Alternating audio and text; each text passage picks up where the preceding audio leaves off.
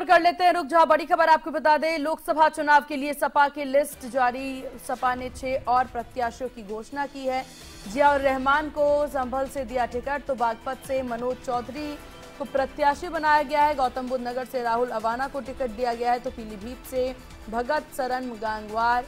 सपा प्रत्याशी बनाए गए। घोसी से राजीव राय, सपा प्रत्याशी घोषित। मिर्जापुर से राजेंद्र एस बिंद, सपा प्रत्याशी घोषित किए गए हैं। तो बड़ी खबर आपको बता दें, सपा की एक और लिस्ट जारी हो चुकी है, जिसमें कई नाम है। हालाँकि नोएडा से प्रत्याशी बदलने की खबर भी सामने आ रही है। तो ये अहम खबर आपको बता दें, जहाँ सपा के द्वारा एक और लिस्ट जारी कर दी गई है।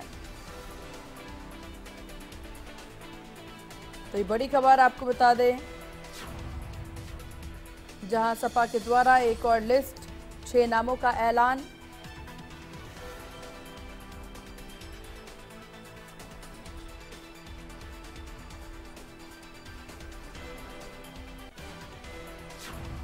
और तमाम जानकारी अपडेट के साथ संवाददाता रवि हमारे साथ बने हुए हैं इसी खबर पर। रवि, सपा की ये लिस्ट जारी हो गई है। हालाँकि ये पांचवी लिस्ट मानी जा रही है, जिसमें छह नामों का ऐलान किया गया है।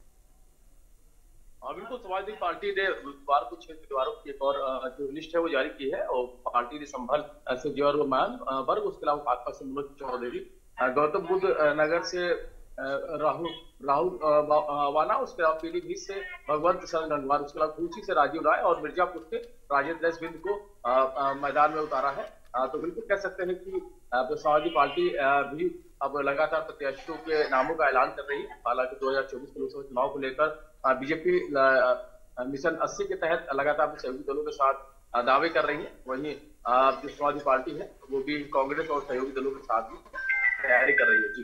बिल्कुल, रवि और नोएडा से प्रत्याशी बदलने की बात सामने आ रही है। क्या वजह है कि नोएडा से प्रत्याशी बदले गए?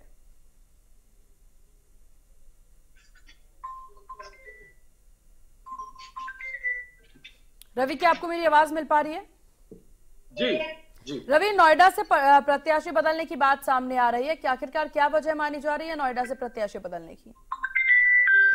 जी बिल्कुल फ़िलहाल जिन जो भी नामों का ऐलान किया गया है उन्हीं नामों को लेते हुए सारी चीज़ें है वो की जा रही है। फ़िलहाल अभी इन नामों का जो दावा है वो किया गया है ये नामों का जो लिस्ट जारी की गई है फ़िलहाल अभी देखना होगा बिल्कुल देखने वाली बात होगी रवि की किस प्रकार से सपा की और लिस्ट सामने आती है। आपका बहुत शुक्रिया तमाम जानकारी